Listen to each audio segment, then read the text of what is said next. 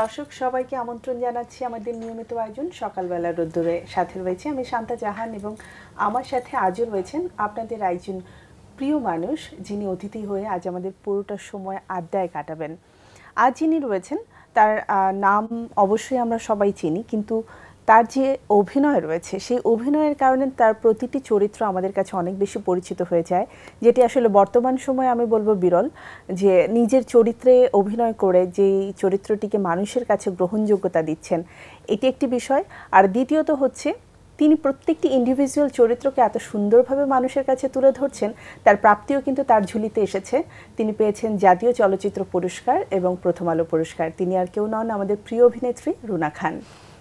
অনেক অনেক শুভেচ্ছা। অনেক অনেক ধন্যবাদ। কেমন আছেন আপনি? খুব ভালো আছেন আপু। অনেক ভালো লাগছে আপনাকে পেয়ে। আর যেহেতু দীর্ঘদিন যাবৎ কাজ করছেন অনেক অনেক কথা জমে আছে আজকে শোনার জন্য। তো প্রথমে বলব যে এখন দিন কেমন কাটছে যদিও কাজের ব্যস্ততা।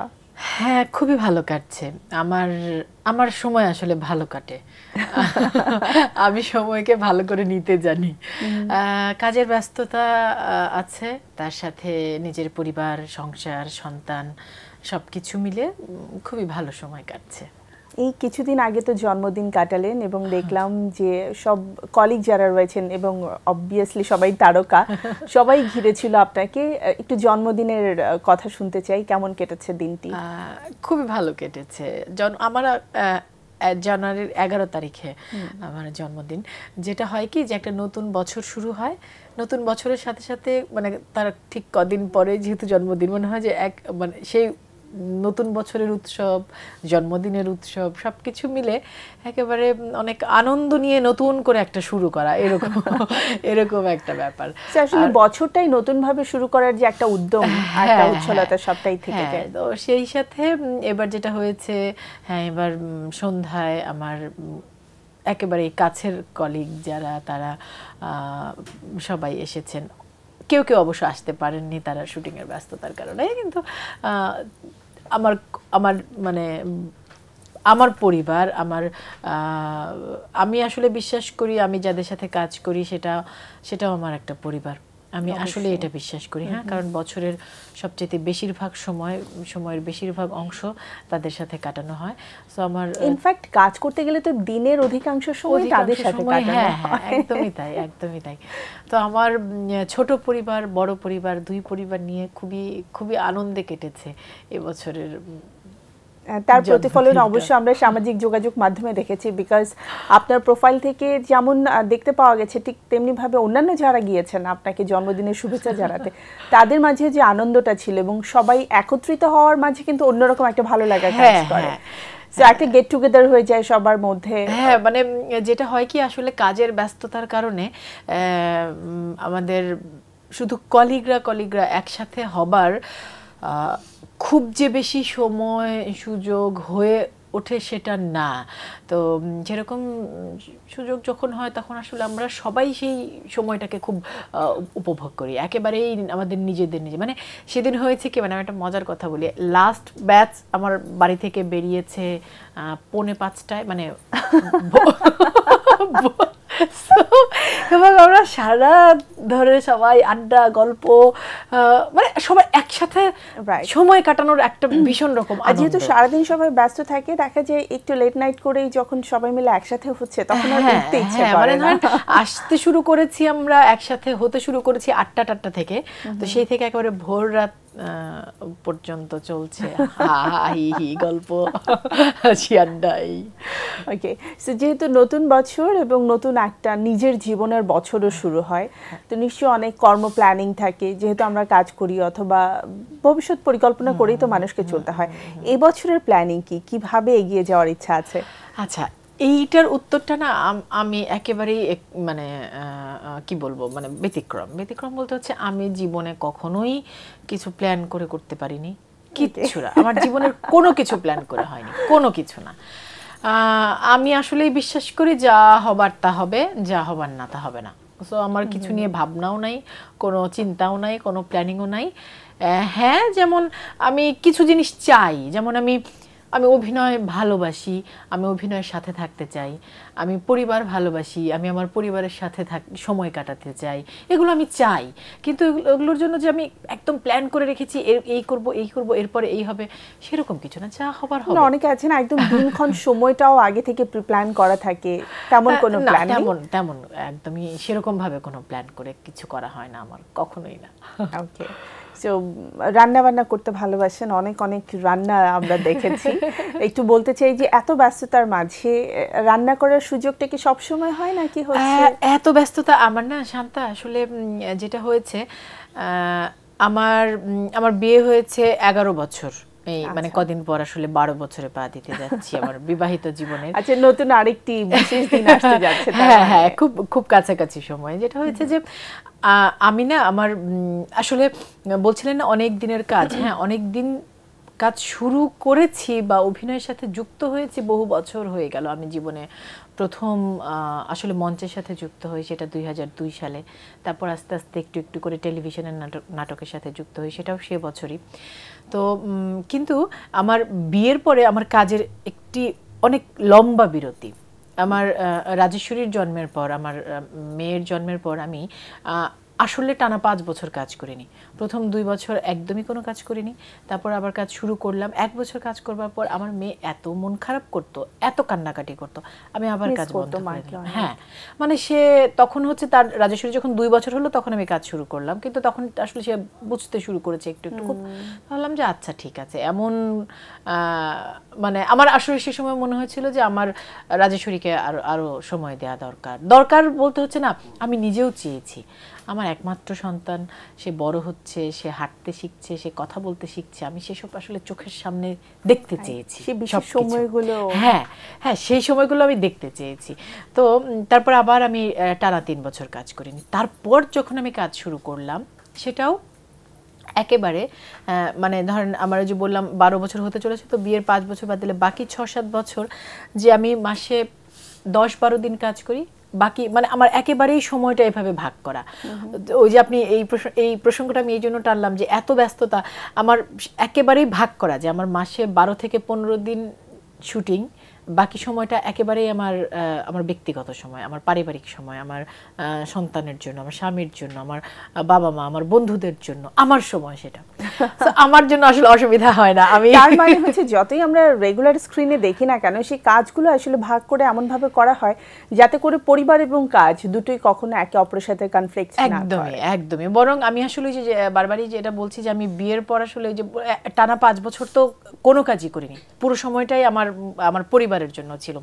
তারপরে যেটা হয়েছে, এখানে আমা, আমি একটু সৌভাগ্যবান বলব যে যে কাজগুলো আমি করছি সে কাজগুলো সাথে সাথে প্রচারিত হচ্ছে এবং আমি আরও সৌভাগ্যবান আসলে আমি দর্শকদের ভালোবাসা, আশীর্বাদ আমার সাথে সেই জন্য বলব যে সেই কাজগুলো তারা পছন্দ করছেন। যে কারণে মনে হচ্ছে অনেক কাজ, অনেক অনেক স্ক্রিনে সেরকম যে বারবারই বলছি। আমি সবসময়ই গত চার পাঁচ বছর ধরে তিনটা, চারটা সিরিয়াল করছি। মানে মাসে ওই যে দশ বারো দিনের শুটিং যেহেতু কাজের প্রসঙ্গে আমরা চলে এসেছি, আমি একটু প্রথমেই যেটি বলেছিলাম যে এই সময়ে কাজ করে নিজের চরিত্র দিয়ে মানুষের কাছে পরিচিত হওয়া কিন্তু খুব কঠিন।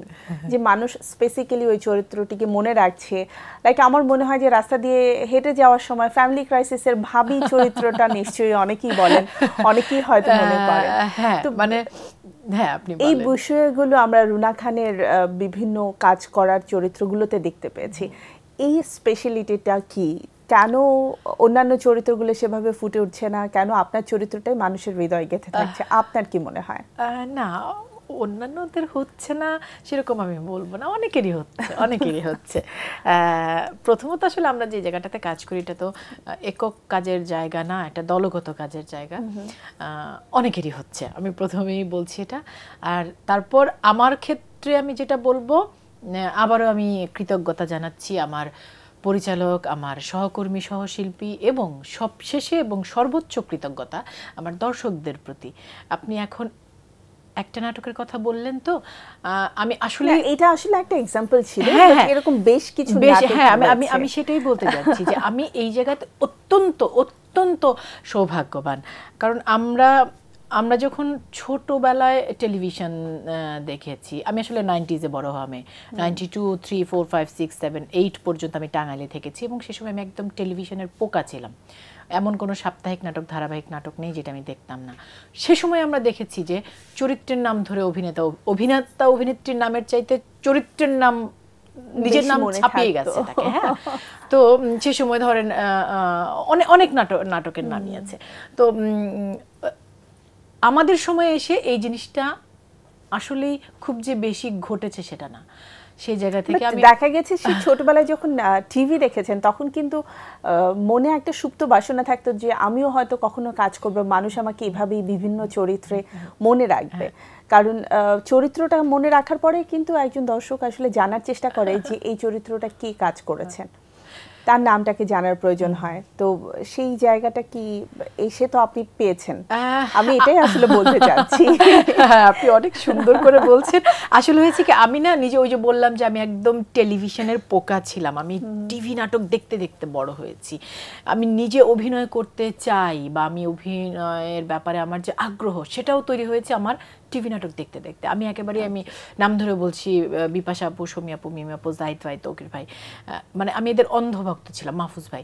এবং আমি যখন তাদের সাথে কাজ করি তখন বলি আমি এই মানে তকির ভাই জাহিদ ভাই মাহফুজ ভাইকে সবসময় বলি যে আপনারা আপনাদের সাথে যখন আমি কাজ করি তখন আমার না খুব অন্যরকম একটা ফিলিং হয়। কারণ আপনারা শুধু আমার সহকর্মী না মানে আমি আগে আপনাদের ভক্ত আপনাদেরকে দেখে দেখেই আপনাদের কাজ দেখেই আমার কাজ করবার আগ্রহ এখন যখন আপনারা আমার সহকর্মী সেটা আমার জন্য খুব ভীষণ রকম একটা হ্যাঁ ভালো তো এই একই মানুষ তৌকির আহমেদের কথা বলছি যে তৌকির ভাইয়ের পরিচালনায় কাজ করার সুযোগ হয়েছে চলচ্চিত্রে কাজ করেছেন এবং পুরস্কারও পেয়েছেন।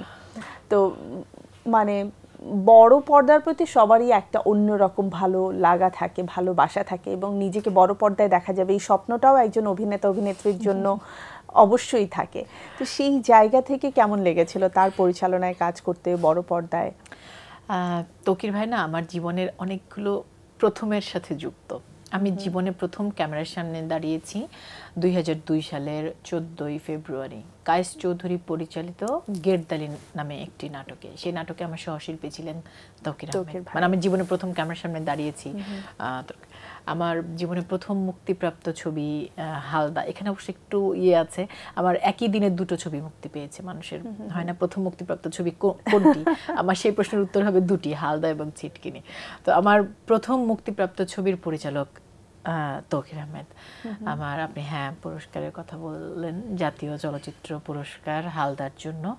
এবং আমি মনে করি অবশ্যই মানে অভিনয়ের ক্ষেত্রে সর্বোচ্চ রাষ্ট্রীয় স্বীকৃতি জাতীয় চলচ্চিত্র পুরস্কার এবং সেই সম্মাননা সেই স্বীকৃতি এসেছে হালদার মধ্য দিয়ে আমার প্রথম ছবির মধ্য দিয়ে। আমার জীবনের অনেকগুলো গুরুত্বপূর্ণ প্রথমের সাথে তৌকির তৌকির ভাই যুক্ত হয়ে আছেন। ভীষণ ভীষণ ভীষণ রকম ভালো লাগার সেটা আসলে বলার অপেক্ষা রাখে না অপেক্ষা রাখে না। এই জন্য যে কাজ করতে কেমন লেগেছে সেটার উত্তরে না কাজ করতে গিয়ে আলাদা কিছু লাগেনি। কারণ আমরা ওই হালদার টিমটা একেবারে আমরা সবাই নাটকের সহকর্মী। মানে আমার সরাসরি সহকর্মী ছিলেন জাহিদ ভাই তিশা মোশারফ ভাই দিলার আন্টি। এই চারজনের সাথে আমার সবচেয়ে বেশি কাজ ছিল। আমরা প্রত্যেকেই কিন্তু নাটকের আগে থেকে হ্যাঁ, হ্যাঁ মানে অসংখ্য মানে পরিবারের মানুষের হ্যাঁ একসাথে হয়েছে। যেটা হয়েছে আলাদা সেটা হচ্ছে যে চলচ্চিত্রের ক্ষেত্রে সত্যি কথা বললে, আমাদের এখন সময় স্বল্পতা বাজেট স্বল্পতা সব কিছু মিলে আমরা এখন প্যাকেজ নাটকগুলো বা ধারাবাহিক নাটকগুলোতে সেই রকম প্রস্তুতির সময় পাই না, যেটা আমরা চলচ্চিত্রের ক্ষেত্রে পেয়েছি। একটা দৃশ্যে অসংখ্যবার রিহার্সেল করছি, একসাথে সে দৃশ্যটা নিয়ে আলোচনা করছি, সেভাবে হয়তো বা নাটকের সময় পাই না। ওটা ছিল ভিন্ন। এছাড়া মানুষ, পরিবেশ সবই একই, একদম নিজের মানুষজন সবাই। তো সেই জায়গা থেকে আসলে কাজ করার ক্ষেত্রে তো কোনো বেগ পেতে হয়নি। আর রুনা খান অত্যন্ত গুণী একজন অভিনেত্রী এটা আমরা সবাই জানি। অভিনয়ের মুগ্ধতা তো ছড়িয়েছেন বাট পাশাপাশি আরও অন্যান্য কাজের কথায়ও আসব। তার আগে একজন দর্শক সাথে রয়েছেন ফোনটি নিচ্ছি। জি জি। হ্যালো আসসালামু আলাইকুম। শুভ সকাল। শান্তা তো আপনাকে অনেক অনেক শুভেচ্ছা। শুভ সকাল আপনাকেও। অনেক অনেক শুভেচ্ছা। নামটি বলবেন? আমি নকুল সরকার বলছিলাম নরসিংদী থেকে। একটু রুনা আপনার সাথে কথা বলব। অবশ্যই আপনি কথা বলুন। রুনা আপা আপনাকে অনেক অনেক শুভেচ্ছা জানাচ্ছি। আমিও মিডিয়ারিতে কাজ করি তো আমাদের পরিবারের চেয়ে মিডিয়া পরিবারটা হচ্ছে সবচেয়ে বড় এবং আমাদের দিনের বেশিরভাগ সময়টা আমরা এখানেই কাটাই। তো রুনা আপা আপনি যেমন একজন ভালো অভিনেত্রী তেমন ভালো একজন মানুষ তেমন আন্তরিক একজন মানুষ। আমি আপনার অভিনয়ের অনেক বড় একজন ভক্ত। আর সম্প্রতি আপনি জাতীয় চলচ্চিত্র পুরস্কার পেয়েছেন এটার জন্য অভিনন্দন জানাচ্ছি। আর একটা কাজের কথা বলতে চাই। আহ, অতি সম্প্রতি আপনি একটা কাজ করেছেন যেটা হচ্ছে বঙ্গবন্ধুর জন্মশতবার্ষিকী উপলক্ষে। হ্যাঁ। সেই কাজটা সম্পর্কে একটু বলবেন। তারিক ভাইয়ের সাথে কাজ করেছেন আপনি। জি। ভালো থাকবেন। জি অনেক অনেক ধন্যবাদ নকুল ভাই। আমি আপনাকে চিনতে পেরেছি। আপনি ফোন করেছেন। অনেক ধন্যবাদ নকুল ভাই আমাদের আহ, সহকর্মী আসলে। ধন্যবাদ নকুল ভাই এবং আমিও যতটুকু জানি সহকর্মী এবং আমি তার পরিচয়টা দিতে চাই অ্যাসিস্ট্যান্ট ডিরেক্টর হিসেবে কাজ করছি। হ্যাঁ, হ্যাঁ, হ্যাঁ। এটা কিন্তু মানে একটা বিষয় যে তারা আমাদেরকে দেখছেন এখন। হ্যাঁ হ্যাঁ হ্যাঁ নকুল ভাই আমি আন্তরিক ধন্যবাদ জানাচ্ছি আবারও যে আপনি ফোন করেছেন। হ্যাঁ বঙ্গবন্ধুর জন্ম শতবার্ষিকী উপলক্ষে একটি বিশেষ টেলিছবিতে কাজ করেছি শ্রাবণী ফেরদৌসের পরিচালনায় এবং যেখানে আমার সহশিল্পী ছিলেন তারেক আনাম খান। যেটা মানে বিষয়টা হয়েছে কি যে এই কাজগুলো করতে এই কাজগুলো বলতে হচ্ছে ইতিহাস নির্ভর কাজ করতে গেলে আসলে এমনিতেই সবাইকেই একটু বেশি আমরা সচেতন থাকার চেষ্টা করি যে কোনোভাবেই যেন কোনো বিকৃতি না ঘটে। হ্যাঁ কোনো তথ্যের কারণ অত্যন্ত গুরুত্বপূর্ণ বিষয় হচ্ছে সঠিক তথ্যটা উপস্থাপন করা। এবং তারপর যেহেতু আমরা আসলে এটা এটাকে ফিকশন আকারে করছি সে সাথে জিনিসটাকে আহ, সেই মানে নাটকের বা টেলিছবির সেই নাটকীয়তাও এর সাথে যুক্ত করতে হয়। সে- সেই জায়গা থেকে আমাদের সবার মধ্যে পরিচালক থেকে শুরু করে একেবারে অভিনেতা অভিনেত্রী সহ প্রত্যেকেই যে যে সেক্টরে কাজ করছি আমাদের প্রত্যেকেরই একটা বিশেষ আগ্রহ থাকে বিশেষ চেষ্টা থাকে যে আমরা যাতে কাজটাকে যথেষ্ট রকম ঠিকঠাকের কাছাকাছি করতে পারি। হ্যাঁ? তো সেরকম একটি কাজ করেছি আহ, শ্রাবণী আপুর আহ, পরিচালনায় এবং আমি আশা করছি দর্শকরা যখন কাজটা দেখতে পাবেন তাদের ভালো লাগবে। তার মানে আমাদেরকে আরও কিছুদিন অপেক্ষা করতে হবে কাজটি দেখার জন্য। হ্যাঁ, বাট আমরা আশা করছি ভালো কিছু আরও উপহার পাবো আপনার কাছ থেকে। ওকে তো প্রাপ্তির কথা আসছিল এবং অন্যান্য কাজের কথাও আসছিল। আমরা দেখেছি রুনা খান সিসিমপুরেতে খুব ভালো কাজ করেছে। তার হাসি তার কথা সব কিছুর প্রতি মানুষের অন্যরকম একটা আগ্রহ তৈরি হয়েছিল। এবং বিশেষ করে বাচ্চারা। তারপরে আমরা দেখেছি বড় বড় বিলবোর্ডে রুনা খানের চমৎকার হাসি, ভুবন ভুলানো। তো এই কাজগুলো কি মনে হয় যে নিজেকে, আমার দর্শকদের কাছে পরিচিত হতে আরও বেশি সহায়তা করেছে? অবশ্যই অবশ্যই। এই মানে অভিনেতা, আমি আসলে এভাবে বলি যে আমি অভিনেতা হতে চাই, আমি চেষ্টা করছি চেষ্টা করে যাচ্ছি। আমি আসলে এটা বিশ্বাস করি। আমি ভালো কাজ করতে চাই, ভালো অভিনেতা হতে চাই, সেই চেষ্টায় আছি, সেই পথে হাঁটছি। তো আমার সেই চেষ্টার যে কাজগুলোর কথা আপনি বলছেন ওগুলো ছাড়া তো আসলে আমার সেই চেষ্টাটাও অসম্পূর্ণ, কিছুই না। হ্যাঁ আপনি শুরুতে বলছিলেন না যে নিজের নাম ছাপিয়ে গেছে কাজ। সিসিমপুরে সিসিমপুর প্রথম প্রচারিত হয়েছে, শুরু, প্রচার শুরু হয়েছে দুই হাজার পাঁচে। তো দুই হাজার পাঁচে যেই ছেলেটি বা যে মেয়েটির বয়স দশ বছর এখন তার বয়স কত? পঁচিশ বছর? অনেক। হ্যাঁ মানে হ্যাঁ, পঁচিশ বছরের হ্যাঁ হ্যাঁ হ্যাঁ মানে তখন যাদের বয়স দশ থেকে পনেরো এখন তাদের বয়স পঁচিশ থেকে তিরিশ হ্যাঁ? তো পনেরো বছর পার হয়ে দুই হাজার পাঁচের প্রচার শুরু হয়েছে এটা দুই হাজার বিশ পনেরো বছর পার হয়ে উম, গেছে। তো একটি প্রজন্ম বড় হয়েছে সিসিমপুর দেখতে দেখতে। আমাকে অনেকেই বিশেষ করে এখন যারা ইউনিভার্সিটি গোয়িং ছেলে মেয়ে আছে ইউনিভার্সিটিতে পড়ছে যে সুমনা তারা তো আসলে এখন সুমনা নামেই ডাকে. হ্যাঁ তো ওই যে এখন আমাকে অনেকেই বলে যে তোমাকে আমরা তো জানি তোমার নাম সুমনা। তোমার এবং তুমি তুমি করে বলে সুমনা আমরা তো তো- তোমার তুমি রুনা আমরা তো তোমাকে সুমনা বলেই চিনি। হ্যাঁ তো ওই যে রুনার চাইতে সুমনা নামটাই বেশি গ্রহণযোগ্য একটি চরিত্রের নাম। এটা আমার এটা আমার জন্য আশীর্বাদ। বা আপনি যে বিলবোর্ডের কথা বলছিলেন ডাচ বাংলা ব্যাংকের জমিলা মানে একটি চরিত্র চরিত্রকে চেনে মানুষ এটা আমার জন্য ভীষণ আনন্দ ভীষণ প্রাপ্তি ভীষণ আশীর্বাদ। বা ফ্যামিলি ক্রাইসিসে সালমা সালমা সালমা ভাবি।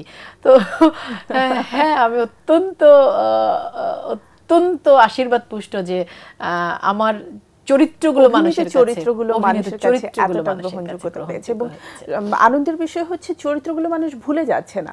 সেই চরিত্রগুলোকে মনে রেখে কিন্তু আপনাকেও মানুষ চিনে নিচ্ছে হ্যাঁ হ্যাঁ এবং ওই যে আমি বলছিলাম না। বারবারই বিশেষ করে এখন আসলে সামাজিক যোগাযোগ মাধ্যমের সময় তো তো ফেসবুকে ইনস্টাগ্রামে কোনো একটা ছবি পোস্ট করা মাত্রই তুমি আহ, সুমনা তোমাকে তো আমরা সেই স্কুল থেকে ভালোবাসি সুমনা তোমাকে তো আমরা স্কুল থেকে চিনি তখনও তোমাকে ভালো লাগতো এখনও তোমাকে ভালো লাগে। মানে সেই সুমনাকে তারা আসলে এত বছর ধরে সাথে নিয়ে চলছেন ভালোবেসে চলছেন। আমি আমি আন্তরিক কৃতজ্ঞতা জানাচ্ছি আমার দর্শকদের প্রতি। তাদের জন্যই আমি আসলে একটুখানি যা আমি কিছুই না একটুখানি যা একেবারেই সেটা তাদের জন্য। ওকে তো দু হাজার দুই সাল থেকে যখন মঞ্চে কাজ করা শুরু হলো আমরা অনেক সময় অনেকে বলে থাকে যে মঞ্চটাকে ভালোবেসে মঞ্চকে আঁকড়ে ধরে থাকব। আবার অনেকে মঞ্চের পাশাপাশি টেলিভিশন ক্যারিয়ার অথবা বড় পর্দায় নিজেদের ক্যারিয়ার গড়ে তোলে। তো এক্ষেত্রে আপনার ক্ষেত্রে যদি জানতে চাই যে টেলিভিশনে এবং বড় পর্দায় সময় দিতে চেয়ে মঞ্চের সাথে কানেক্টিভিটি কতটা রয়েছে? দূরত্ব কি একটু বেড়েছে নাকি আগের মতোই আছে মঞ্চের সাথে যাতায়াত? যেটা হয় কি যে আসলে আমাদের মঞ্চে আমাদের কোনো একটা নতুন নাটক যখন নামতে যায় তখন আমাদেরকে টানা প্রায় তিন চার মাস কখনো কখনো ছ মাসও রিহার্সাল করতে হয় টানা। এবং মঞ্চ নাটকের রিহার্সাল হয় সাধারণত সন্ধ্যায় সাতটা থেকে দশটা এগারোটা। আপনি আমাদের শুটিংয়ের সময় উম, নিশ্চয়ই জানেন যে আমরা যখন শুটিং এর ডেট দেই বা তখন একেবারে সকাল থেকে রাত আমাদেরকে রাত 10টা থেকে হ্যাঁ 11টা দশটা থেকে ধরে এগারোটা পর্যন্ত কাজ করতে হয়। মানে এগারোটায় কাজ শেষ হলো বাসায় ফিরতে ফিরতে আরও এক দেড় ঘণ্টা লেগেই যায়। লেগে যায়। তো যে কারণে আসলে আমরা অনেকেই যারা মঞ্চ আহ, মঞ্চ দিয়ে শুরু তারা একটা সময় টেলিভিশন নাটককে পেশা হিসেবে নেবার পর আগের মতো সময় দেওয়াটা কঠিন হয়ে ওঠে। হ্যাঁ এটা হচ্ছে বাস্তবতা। তবে তারপরও অনেকেই অনেক অভিনেতা অভিনেত্রী এখনও মঞ্চে টেলিভিশনে অনেক পরিচিত হয়েও মঞ্চে নিয়মিত কাজ করছেন। যারা নিয়মিত পারছেন না তারা ধরেন আমি এই প্রোডাকশনটিতে আছি ঠিক আছে এই প্রোডাকশনটিতে কাজ করছি যখন সেটার শো হচ্ছে সেরকম। আর আমার কথা যেটা আমি বললাম আমার তো যে আমি শুরুতেই বলেছি যে আমি বিয়ের পর আসলে একটা দীর্ঘ সময় শুধু আমি আমার পরিবারকেই দিতে চেয়েছি আমার সন্তানকে দিতে চেয়েছি। কারণ আমার বিয়ের পরপরই আমি খুব অল্প সময়ের মধ্যে আমি জানতে পারি রাজেশ্বরী আমার জীবনে আসবে। তো রাজেশ্বরী আমার জীবনে আসবার পর একটা টানা সময় আমি আসলে শুধু রাজেশ্বরীকেই দিতে চেয়েছি। তারপর যেটা হয়েছে আমি আবার ওই মানে আমি আমরা যখন দেওয়ান গাজীর কিস্সা করলাম নাগরিকের দুই হাজার পনেরো চোদ্দ পনেরোতে সেই সময় কিন্তু প্রথম টানা তিন মাস আমাকে টেলিভিশন নাটক একদম বন্ধ করে সময় দিতে হয়েছে হ্যাঁ। রিহার্সাল করতে হয়েছে। আর সারাদিন আমি ফ্রি কিন্তু সন্ধ্যার তিন ঘণ্টার জন্য আমাকে কারণ ওটা করলে আর এটা করতে পারছি না। রাইট তো এভাবেই যাবার আগের পূর্ব প্রস্তুতি অনেক কিছু হ্যাঁ হ্যাঁ এভাবেই মিলিয়ে সময় মিলিয়ে ঝিলিয়ে কাজ করতে হয়। তবে আমি একেবারে মঞ্চ থেকে বিচ্ছিন্ন একদমই সেটা বলব না। আমি শেষ কাজ করেছি আসাদুজ্জামান নুরের নির্দেশনায় দেওয়ান গাজের কিসা তারপর করেছি উষা গাঙ্গুলির নির্দেশনায় নামগোত্রহীন। এই দুটো কাজের পরে আসলে আমার দলের আরও দুটো নাটক হয়েছে। হ্যাঁ সে দুটোতে আমি অংশগ্রহণ করতে পারিনি বা কাজ করতে পারিনি। ভবিষ্যতে আবার করব। কারণ আমি আমি সবসময় বলি শান্তা, এই কথাটা, আমি না অভিনয়ের সাথে থাকতে চাই। আমার কাছে আসলেই টেলিভিশন, না বড় পর্দা, না মঞ্চ, না বিজ্ঞাপন, আমি যে কটি বিজ্ঞাপনে কাজ করেছি, প্রতিটি হচ্ছে একেবারে অভিনয় নির্ভর। যে কটি, খুব হাতে গোনা অল্প কয়েকটি বিজ্ঞাপনে কাজ করেছি। তো আমি অভিনয়ের সাথে থাকতে চাই এটা আমার ভালো লাগে। সেটা হোক মঞ্চে হোক টেলিভিশন যে কোনো ক্ষেত্র। থেকেই হোক ক্ষেত্র আমার কাছে গুরুত্বপূর্ণ না। আমার কাছে অভিনয়ের সাথে থাকতে পারাটা সবচেয়ে বেশি গুরুত্বপূর্ণ।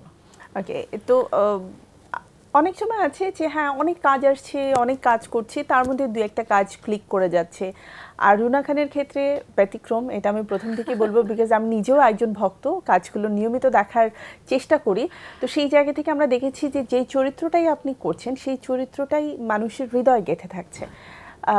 এক্ষেত্রে আপনি কি বলতে চান যে আমার চরিত্র বাছাই করার যে গুণাবলীটা রয়েছে সেটা আমাকে বেশি সাহায্য করেছে? অথবা আমার পরিচালকরাই আমাকে বেছে নিয়েছেন? এজন্য আজ আজকে আমি এই অবস্থানে আসতে পেরেছি। নতুবা আমি চরিত্র যাই হোক না কেন গল্প যাই হোক না কেন নিজের অভিনয় শৈলী দিয়ে তাকে ফুটিয়ে তুলেছি। কোনটা? একটু কঠিন বাট আমি জানতে চাই। আপনি আপনি আসলে অনেক এত বেশি প্রশংসা করছেন আবার আমি খুবই বিব্রত হচ্ছি আসলে খুবই লজ্জা পাচ্ছি খুবই বিব্রত হচ্ছি। এত এরকম কিছুই না খুব সহজ এক লাইনে আমি বলতে পারি। আমি শুরুতেই বলেছি না যে আমি আসলে খুব হিসাব করে প্ল্যান করে কিছু করতে পারি না তবে আমি অভিনয় ভীষণ ভালোবাসি অভিনয়ের সাথে থাকতে চাই। শুধু এই এই লাইনটাই। আর তার পরের লাইনটা হচ্ছে আমার কাছে যা যা কাজের প্রস্তাব এসেছে সেটা সেই শুরু থেকে আজ পর্যন্ত। ছোট চরিত্র মাঝারি চরিত্র বড় চরিত্র প্রধান চরিত্র এভাবে আসলে আমি আমি যেহেতু মঞ্চ থেকে আসা মানুষ তো আমাকে ছোট ছোট চরিত্র দিয়েই কাজ শুরু করতে হয়েছে। আমার জন্য প্রথমেই কেউ প্রধান চরিত্র বড় চরিত্র নিয়ে বসে থাকেননি। ছোট্ট ছোট ছোট ছোট চরিত্র দিয়ে কাজ করে নিজেকে আমি যে পারছি একটু হলেও প্রমাণ করতে হয়েছে। সে সেভাবেই আমাকে আস্তে আস্তে বড় চরিত্র প্রধান চরিত্রের দিকে যেতে হয়েছে বা এসেছে। আমি আমার কাছে একদমই বিষয়টা এরকম আমার কাছে যা যা কাজের প্রস্তাব এসেছে সেখান থেকে আমার কাছে যে কাজগুলো ভালো লেগেছে সেই কাজগুলো আমি করার করেছি। আর কিছুই না। ভীষণ রকম বেছে বেছে কাজ করছি এই জন্য এরকম না একদমই সেটা না। একদম আমি যেটা বললাম এটাই। যা চরিত্রের যে সমস্ত কাজের প্রস্তাব এসেছে তার থেকে যা ভালো লেগেছে সেটা করার চেষ্টা করেছি। আর হ্যাঁ বললেন না যে মানে চরিত্র কোনো বিষয় না নিজের অভিনয় শৈলী দিয়ে। সেরকম নিজে সম্পর্কে কি এত বড় বড় কথা বলা যায়? একদমই বলা যায় না। আর আমি তো প্রথম কথা হচ্ছে আমি বিশ্বাসই করি না এভাবে। তবে আমি যেটা বিশ্বাস করি সেটা হচ্ছে আমি যে যখন যে চরিত্রে কাজ করেছি আমি চেষ্টা করেছি কতটা বিশ্বাসযোগ্যভাবে চরিত্রটির কাছাকাছি যাওয়া যায়। আমি শুধু এই চেষ্টাটা করি মানে সেই চরিত্রটিকে ফুটিয়ে তোলার জন্য আসলে যতটুকু কতটুকু বিশ্বাস হ্যাঁ কষ্ট করা দরকার মানে- যতটুকু হ্যাঁ মানে আসলে হয় কি অভিনয় মানে তো এক জীবনে অনেক জীবন যাপন আমি তো একটা মানুষ কিন্তু আমি এখন একটা চরিত্রে আছি সাত দিন পরে অন্য আরেকটা চরিত্র পনেরো দিন পরে অন্য আরেকটা চরিত্র মানে এক জীবনে অনেক জীবন যাপন তো পুরোপুরি ভিন্ন মানুষ কি আসলে হওয়া যায়? আমি ঠিক জানি না তবে চেষ্টা করি যতটা কাছাকাছি বা যতটা বিশ্বাসযোগ্য করা যায়। এটুকুই। ওকে দু দুই সাল থেকে কাজ শুরু এখন মানে দু হাজার বিশ সাল। মানে আঠারো বছর ক্যারিয়ারের দীর্ঘ সময় বলতে হবে এবং দীর্ঘ সময় প্রাপ্তির ঝুলিতে সবচাইতে বড় যে স্বীকৃতি সেটা কিন্তু চলে এসেছে জাতীয় চলচ্চিত্র পুরস্কার এবং তাও প্রথম চলচ্চিত্রেই। এই জায়গা থেকে কি মনে হয় যে মানে আছে না যে স্বপ্ন ছিল কিন্তু খুব দ্রুত বাস্তবায়ন হয়ে গেছে। অথবা এই স্বপ্ন বাস্তবায়নটা আমাকে আসলে দায়িত্ববোধের জায়গা থেকে আরও বেশি আমাকে মানে দায়িত্বশীল করে তুলেছে। কোন বিষয়টা কাজ করে? অনেক দিন থেকেই তো কাজ করছি আসলে শান্তা। করছি বিরতি কাজ করছি আবার বিরতি দিচ্ছি আবার কাজ করছি। পাঁচ বছরের বিরতি কিন্তু অনেক লম্বা একটা বিরতি। তারপরে আবার এত চমৎকার একটা কামব্যাক করা এবং ভালো কাজের সাথে থাকা। কারণ অনেক সময় দেখা যায় লম্বা একটা বিরতির পরে কিন্তু দর্শকের কাছে গ্রহণযোগ্যতা পাওয়া নতুন ভাবে পরিচিত হওয়া অনেক কিছুর একটা হ্যাঁ, ব্যাপার থাকে। হ্যাঁ, এবং আহ, সময় তো বসে থাকছে না এর মধ্যে আরও অনেক নতুন অভিনেতা অভিনেত্রীরা আসছেন বা হ্যাঁ, অনেক বড় অনেক হ্যাঁ, কাজের সুযোগ অনেকের বেড়ে গেছে। এই বিষয়টা কিন্তু থাকছে। থাকছে। আপনি যেটা বলেছেন সেটা আমি বুঝেছি। সেই জায়গা থেকে আসলে আমার আমি ভাগ্যবান এটা ছাড়া আমার আর কিছু বলবার নেই। আমি আমি আমি জানি না। আসলে আমি জানি না। আমি নিজেও অবাক হই যে কীভাবে সম্ভব হয়েছে এত আসলে আসলে আমি আমি অত্যন্ত ভাগ্যবান। আমি অত্যন্ত কৃতজ্ঞ আসলে সহজ উত্তর হয়ে গেল হ্যাঁ, হ্যাঁ। হ্যাঁ কারণ আমি ধরেন আমার বিয়ের আগের কাজগুলো আমি না বিয়ের আগের কাজ এবং পরের কাজ একদম এভাবে কারণ যেহেতু আমার একটা লম্বা বিরতি দিয়েছি আমি যে জন্য আমি দুই ভাগে ভাগ করতে পারি। ধরেন বিয়ের আগে আমার সিসিমপুর সুমনা গ্রামীণ ফোন হ্যাঁ এই এই কাজগুলো হ্যাঁ। আর বিয়ের পরে যখন আবার শুরু করলাম তখন ডাচ বাংলা ব্যাংক জমিলা তারপর চলচ্চিত্র বা ধারা এর মধ্যে আগে পরে মিলিয়ে অনেক অনেক ধারাবাহিক নাটক একক নাটক। এবং হ্যাঁ ওই যে ভাগ্যবান ছাড়া আসলে আমি বুঝে উঠতে পারি না যে কি করে কি করে কি হয়ে গেল। আর যে প্রশ্নটা করেছিলেন সেটা হচ্ছে মানে হ্যাঁ সর্বত স্বীকৃতি বড় সম্মাননা।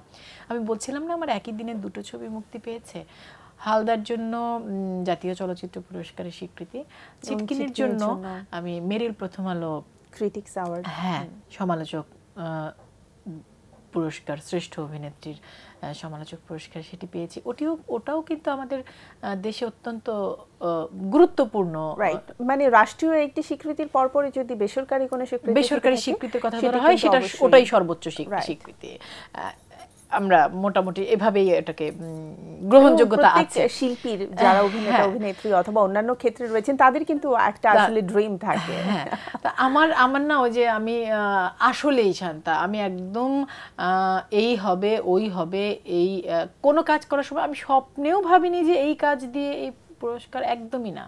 একদমই না। এবং আমি এত অবাক হয়েছিলাম জাতীয় চলচ্চিত্র পুরস্কারটা যেমন আমরা আমার দুটো ছবির জন্য মনোনয়নের জন্য ভোটার আইডি জমা দেওয়া হয়েছে মানে আমি যে বাংলাদেশের নাগরিক সেটা জন্য। তো আমি জানি যে আমার মানে আমি দুটো ছবির জন্য মনোনয়ন পেয়েছি জমা দেওয়া হয়েছে আবেদন। কিন্তু মেরিল প্রথম আলোর ক্ষেত্রে আমি এত অবাক হয়েছিলাম। আমার সাথে নমিনেশন ছিল তিশা এবং জয়াপা। এবং তারা যে দুটো ছবির জন্য নমিনেশন পেয়েছিল, তারা ওই দুটো ছবিতে এত অসাধারণ অভিনয় করেছিল, জয়া এত অসাধারণ ছিল, তিশা, দুজনেই। আমি স্বপ্নেও কল্পনা করিনি যে সেই দিন ওই পুরস্কারটি আমি পেতে পারি, আমি পেতে যাচ্ছি। এটা আমার একদম স্বপ্নের বা, এবং ওটা ছিল আমার প্রথম মনোনয়ন, আমার জীবনে প্রথম মেরিল প্রথম মনোনয়ন। আমি আচ্ছা। প্রথম- অনেক প্রথমের সাথে এই হ্যাঁ মানে মানে প্রাপ্তি প্রথম চলচ্চিত্র প্রথম মেরিলের মনোনয়ন প্রথম পুরস্কার প্রাপ্তি। এবং হ্যাঁ আমি ভীষণ রকম আনন্দিত। এবং দায়িত্বর কথা কি? মনে হয় যে এখন আমি সেদিনই বলছিলাম যে একদম শুধু কাজ করি কাজ করি এভাবে কাজ করে করেই এত এত সম্মান চলে এসেছে। এখন মনে হয় যে কাজটাকে আরও ভালোবেসে করা উচিত। আরও মন দিয়ে করা উচিত। আরও আরও যত্ন করে করা উচিত। এটা আমি বাড়তি দায়িত্ব বলব না বা এটা আমার ভেতরের অনুভূতি। মানে আমার এমন মনে হয় যে, রুনা, তোমার আরও কারণ দায়িত্ববোধটাকে বাড়িয়ে দেয়। মানুষের ভালোবাসা মানে হচ্ছে তাকে টিকিয়ে রাখতে হ্যাঁ। হবে। পাওয়ার পরে তো আর হেলাফেলা করা যায় না এটা একটা বিষয় অবশ্যই আছে। তো রুনাপু আরেকটা বিষয় একটু জানতে চাই। এখন তো প্রচুর কাজ হচ্ছে। অনেকেই কিন্তু বলে যে হ্যাঁ কাজ হচ্ছে মানুষ মনে রাখছে না অথবা কাজগুলো আগের মতো নেই। তো সেই জায়গা থেকেও কাজ করে আহ, মানে প্রাপ্তি মানে কোনো কিছু পাওয়া আসলে। এবং দর্শকের কাছ থেকে ভালোবাসা পাওয়া। এই জায়গা থেকে কি মনে হয় যে আসলে ভালো কাজ হচ্ছে না? বিষয়টা কি তা? নাকি হচ্ছে ভালো কাজগুলো কি মানুষ ভালোভাবে ফুটিয়ে তুলতে পারছে না? আহ, এইখানে হয়েছে কি আসলে কারণ যেহেতু নিয়মিত কাজ করছেন অনেকের সাথে কাজ করা হচ্ছে। হ্যাঁ হ্যাঁ অনেকের সাথে কাজ করা হচ্ছে নিয়মিত কাজ করছি। এবং আমি আসলে এটাই আমার পেশা আমি একজন পেশাগত অভিনেত্রী। পেশা এবং নেশা দুটোই আমি হ্যাঁ আমি একজন পেশাগত অভিনেত্রী। এটাই এটা করেই আমি রোজগার করি এটা করেই আমি খাই দাই চলি ফিরি। নেশার কারণে বোধহয় পেশা হিসেবে নেওয়াটা আরও বেশি সহজ হয়েছে। হ্যাঁ, হ্যাঁ। কাজ ভালোবাসা না থাকলে সেই কাজ আসলে যতই ভালো হোক না কেন তার প্রতি কিন্তু মনোযোগী হওয়া যায় না। মানে আপনি আসলে যে কথাটা বললেন যে কাজের আমি যেমন আমার ব্যক্তিগত কাজকে আমার ক্যারিয়ারকে একদম স্পষ্ট দুটো ভাগে ভাগ দেখতে পাই যে আমার বিয়ের আগের কাজ পরের কাজ এরকম আমি ধরেন আমি খুব রকম নাটকের এরকম দর্শক ছিলাম যে ধরেন আমি নাইনটিজের সময়টা আমার প্রতিটি কথায় আলোচনায় শুধু এরকম ইন্টারভিউ না একদম ব্যক্তিগত আলোচনাতেও সব সময় থাকে সেই জিনিসটা যে সেই সময়কার নাটক আমি দর্শক হয়ে এমনভাবে যুক্ত ছিলাম যে ধরেন এখন আমি কাজ করে যুক্ত এই জায়গাটার সাথে আর সে সময় আমি দর্শক থেকে যুক্ত ছিলাম। তো সে সময় আর এই সময় দুটো সময়ের আমার কাছে পার্থক্য যেটা মনে হয় সেটা হচ্ছে যে সে সময় আসলে একটা চ্যানেল ছিল তো প্রতিটি ভালো কাজই দর্শকের কাছে পৌঁছাতো। প্রত্যেকটি ভালো কাজ। এখন প্রায় এবং সবাই মিলে একটা কাজই কিন্তু দেখ দেখতো হ্যাঁ আর কোনো আর একটা চ্যানেল ছিল এবং আহ, তখন তো এই স্যাটেলাইটের যুগ ছিল না। খুব সোজা বাংলায় বললে সবাই বিটিভি দেখতো এবং প্রতিটি নাটক একেবারেই দর্শকের কাছে পৌঁছে যেত। প্রত্যেকটি ভালো সব নাটক প্রত্যেকটি ভালো নাটক তো বটেই। তারপরে যেটা হয়েছে আসলে আমি যখন কাজ শুরু করেছি দুই হাজার দুইয়ে তখনই আস্তে আস্তে আসলে তখনই মানে আট দশটা চ্যানেল আর এখন তো প্রায় প্রায় বোধহয় গোটা তিরিশেক চ্যানেল 29টি চ্যানেল হ্যাঁ। তো এবং সেই উনত্রিশটি চ্যানেলের পাশাপাশি যারা এই উনত্রিশটি চ্যানেল দেখছে তারা কিন্তু পার্শ্ববর্তী দেশের আরও পঁচিশটা চ্যানেল দেখতে পাচ্ছে পুরো পৃথিবীর আরও পঞ্চাশটা চ্যানেল দেখতে পাচ্ছে। এবং একই সাথে এখন তো স্মার্টফোনের কারণে আসলে একই সাথে। টেলিভিশনের প্রতি কিন্তু মানে তাদের সংযুক্তি খুব কম। হ্যাঁ যে মানে আমি যে ওটা বলতে চাচ্ছি সেটা হচ্ছে যে ভালো কাজ একদম হচ্ছে না সেটা আমি একেবারেই মনে করি না। ভালো কাজ যদি না হয় তাহলে মানুষ আমাকে কি করে চিনলো? আমি তো একটা চ্যানেলের সময়কার অভিনেত্রী না। আমি তো বারোটা চ্যানেলে কাজ শুরু করা মানুষ। তাহলে আমাকে মানুষ কি করে চিনে? আমার কাজ যদি মানুষ না দেখে তাহলে দেশের পাঁচজন লোক হলেও তো আমাকে চেনে। দশজন লোক হলেও তো আমার নামটা জানে। তারা তো শুধুমাত্র আমার আমি তো এছাড়া আর কিছু করি না এই কাজটাই করি। তাহলে আমাকে কি করেছে নিশ্চয়ই তারা কাজটা দেখেছে। সো এক নাম্বার মানুষ কাজ দেখে। আমি এটা আমি এই পয়েন্টটা এই জন্য বললাম যে দর্শকরা কাজ দেখে। দুই নাম্বার হচ্ছে ভালো কাজ আগে আমি বারবারই বলছি যে পাঁচটা কাজ হলে সেই পাঁচটাই দর্শকরা দেখতে পেত। এখন হয়তো বা পাঁচশো কাজ হচ্ছে। তার মধ্যে অন্তত পঞ্চাশটা ভালো কাজ হচ্ছে ভালো কাজ হচ্ছে না তা না। কিন্তু অনেক চ্যানেল চ্যানেলের ভিড়ে অনেক সময় অনেক ভালো কাজ হারিয়ে যাচ্ছে। হারিয়ে যাচ্ছে বলতে দর্শক পর্যন্ত পৌঁছাচ্ছে না। আবার এখন যেটা হয়েছে যে শুধু টেলিভিশন না মানুষ ইউটিউবে দর্শকরা ইউটিউবে অনেক নাটক দেখেন। বিজ্ঞাপন বিরতির ঝামেলা থেকে বাঁচার জন্য ইউটিউবে নাটক দেখেন। এবং মানে যানজটে বসে আছেন সময়টাকে সুন্দরভাবে কাটানোর জন্য হ্যাঁ কিন্তু হ্যাঁ হ্যাঁ। তো আমার মনে হয় না যে ভালো কাজ হচ্ছে না আচ্ছা রুনাপু আরেকটা বিষয় একটু জানতে চাই যে আগে একটা সময় ছিল লাইক আমরা যদি নাইনটিজের কথা বলি তখন সবাই মিলে যে একসাথে বসে টিভি দেখা এটার কিন্তু একটা নির্দিষ্ট সময় ছিল যে এই সময় থেকে এই সময়টা পর্যন্ত নাটকগুলো অনিয়ার হয় বা বিভিন্ন অনুষ্ঠানগুলো অনিয়ার হয়। তো দেখা যেত একটা পরিবারে কিন্তু সবকিছুর একটা নির্দিষ্ট নিয়ম বা সময় বাধা থাকতো। পড়াশোনা খেলাধুলা ঘুমানো রেস্ট নেওয়া সবকিছু এবং একই সাথে বসে টিভি দেখা। এটাও কিন্তু একটা পরিবারে সাপ্তাহিক একটা রুটিন থাকতো। হ্যাঁ, হ্যাঁ। তো এখন কি মনে হয় না যে সময়গুলো নিয়ে একটু ঝামেলা হয় যে হয়তো এখন টিভি দেখার সময় মানে টিভিতে ভালো কিছু একটা অনিয়ার হচ্ছে কিন্তু আসলে এখন টিভি দেখার সময় না। হ্যাঁ। পরিবার থেকেও একটা বাধা থাকে। আপনি আমি জানি না আপনি যদি নিজে নাইনটিজে বড় হওয়া মানুষ হন তাহলে আপনি আমার সাথে খুব সহজে। হ্যাঁ কানেক্ট করতে পারবেন। আমি না একদম আমার না দিনক্ষণ বেশ ভালো মনে থাকে।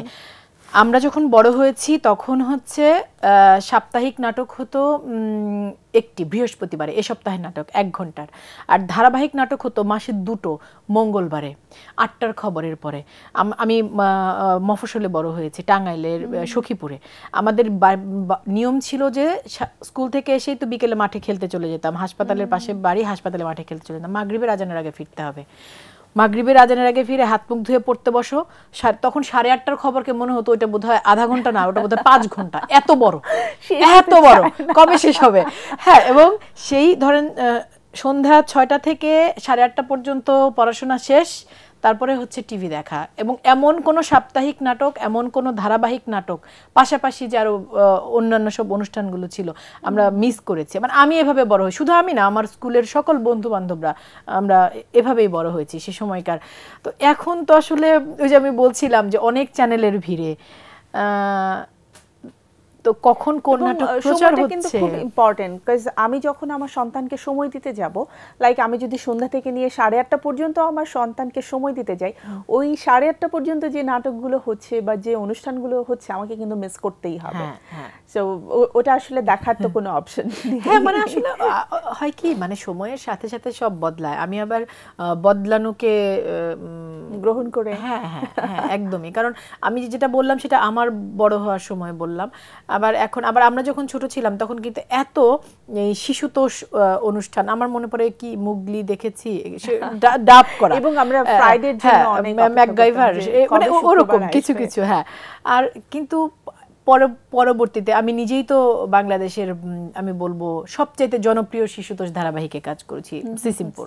হ্যাঁ এবং ওটা কিন্তু এমনভাবেই প্রচার সময় নির্ধারণ করা হয়েছে যেটা তাদের দর্শক যেহেতু উম, আট থেকে পনেরো বছরের বাচ্চারা মূলত শিশুরা মানে এবং সময়টা ওভাবে নির্ধারণ করা হয়েছে যে স্কুল ছুটির পর হ্যাঁ এবং শুক্রবার সকালে এবং শনি সোম বুধ তিন দিন হচ্ছে স্কুল দুইটার পরে স্কুল ছুটির পরে বাচ্চারা স্কুল থেকে এসে মানে।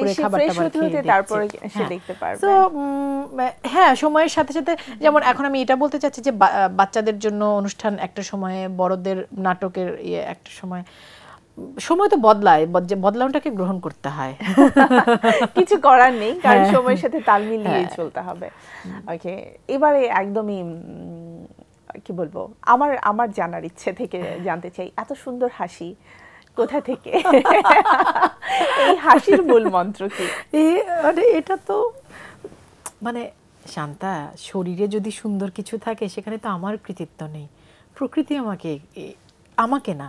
পৃথিবীর সব দেখতে সুন্দর আহ, যে কোনো মানুষেরই তার নিজের ওখানে কোনো কৃতিত্ব নেই। প্রকৃতি তাকে ওটা ধরে রাখার রাখার কৃতিত্বটা তো নিজের যে আমাকে হাসি খুশি থাকতে হবে। মানুষকে লাইক আমি সুন্দর হাসতে জানি কিন্তু আমি মানুষের সামনে হাসছি না। তাহলে কিন্তু মানুষ আমার সৌন্দর্যটা দেখছে না। হ্যাঁ হ্যাঁ এটা এটা আপনি খুবই আহ, চমৎকার একটা পয়েন্ট বলেছেন যে আমি হাসতে জানতে হবে। আমি তো শুরুতেই বলেছিলাম যে আমি ভালো আছি কারণ আমি ভালো থাকতে জানি। ভালো থাকাটাকে আয়ত্ত করে নিয়েছেন। হ্যাঁ কারণ আমি আমি বিশ্বাস করি মানুষের জীবনটা খুব ছোট। খুব অল্প সময়ের আয়ুকাল নিয়ে আমরা পৃথিবীতে আসি। বোধ হবার পরে আসলে কত? চল্লিশ পঞ্চাশ ষাট বছর তারপর তো একটা বয়স বয়স মানে বার্ধক্যজনিত রোগ শোক লেগেই থাকে। তো এই মাত্র তিরিশ চল্লিশ পঞ্চাশ বছর সময় এটা কোনো সময়? কীভাবে একদম তুরিতে উড়ে যাবে মানে বুঝতে বুঝতেই তো আমাদের হ্যাঁ বুঝতে চলে বুঝতে তো জীবনের বিশটা বছর চলে যায়। তারপরে হচ্ছে আসলে জীবনটাকে উপভোগ করার সময় কত? চল্লিশ বছর? পরের বিশ বছর তো রোগী শোকেই কেটে যায়। এর আমি ভাই একটি মুহূর্ত আমি আহ, অনাদরে অবহেলায় নষ্ট করতে চাই না। জীবনের প্রতিটা মুহূর্ত সুন্দর প্রতিটা ধাপ সুন্দর আমি তাই বিশ্বাস করি। এবং আমি আমি জীবন ভীষণ ভালোবাসি আমি আমার জীবনের সময় ভীষণ ভালোবাসি মুহূর্ত ভীষণ ভালোবাসি। আমি যেহেতু নিজেকে ভালোবাসি পরিবর্তনকে গ্রহণ করে নিতে জানে তার জন্য সবকিছু হ্যাঁ। অনেক সহজ হয়ে। যায়। তো আমি যেহেতু ভালোবাসি তো আমার আমার কি বলব এটাকে? ধরেন আমার সেই ভালোবাসাটা প্রকাশ পায় আমার মধ্যে। এটাই। আসলে এটাই হাসির মাধ্যমে প্রকাশ পায়।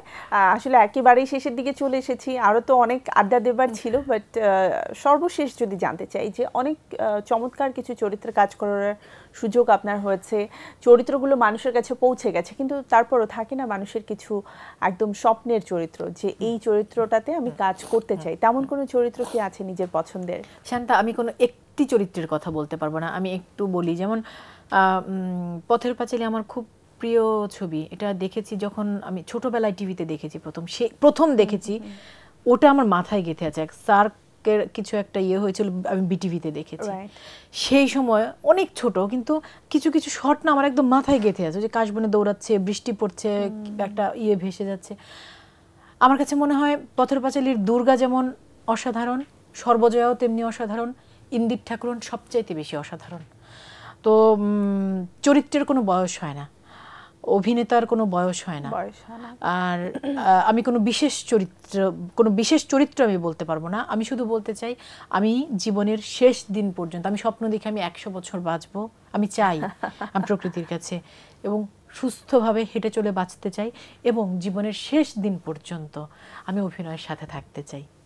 তাতে করে যেই যেই চরিত্র আমার সাথে যুক্ত হয় প্রতিটি চরিত্র কি আসলে বিশেষ করার চেষ্টা আপনার থাকবে? রুনাপু অনেক আড্ডা হলো, অনেক কিছু জানলাম এবং বিশেষ করে একটা মানুষকে আসলে অভিনয় দিয়ে তো মানুষকে চেনা যায় না, তার চরিত্রকে জানা যায়। কিন্তু আমরা আজকে কিন্তু আড্ডা দিয়ে রুনা খান, তার মনোভাব, তার ইচ্ছা, তার স্বপ্ন, তার বেঁচে থাকার যে আমি বলব অনুপ্রেরণা সব কিছুই জানতে পেরেছি। তো খুব ভালো লাগল আমাদের আজকের আড্ডায়, আপনি সময় দিয়েছেন। অনেক অনেক শুভকামনা থাকবে আপনার জন্য। আর আমরা আশা করব ঠিক আরও অনেক সুন্দর কিছু চরিত্র নিয়ে আপনি আমাদের সামনে হাজির হবেন। রুনা খানকে আমরা চিনব পরবর্তীতে। আগে আমরা চরিত্রগুলো দিয়ে রুনা খানকে খুঁজে নিতে চাই। অনেক অনেক অনেক ধন্যবাদ অনেক ধন্যবাদ আমাকে আমন্ত্রণ জানানোর জন্য।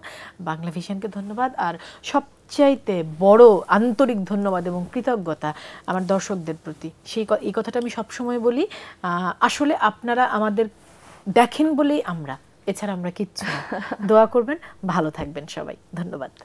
ধন্যবাদ আরও একবার। প্রিয় দর্শক, এই ছিল আমাদের আজকের সকালবেলা রৌদ্রের আয়োজন। নিশ্চয়ই আপনাদের ভালো লেগেছে। আমরা চেষ্টা করেছি আমাদের প্রিয় মানুষটির সাথে কথা বলে আপনাদের সাথে সুন্দর কিছু সময় কাটানোর জন্য। আজকের দিনটি আপনাদের জন্য অনেক অনেক সুন্দর হবে। শুভ হোক আপনাদের প্রতিদিনের পথ চলা। এই প্রত্যাশা আজকের মতো আমি বিদায় নিচ্ছি শান্তা জাহান। দেখা হবে আগামী আয়োজনে। আল্লাহ হাফেজ।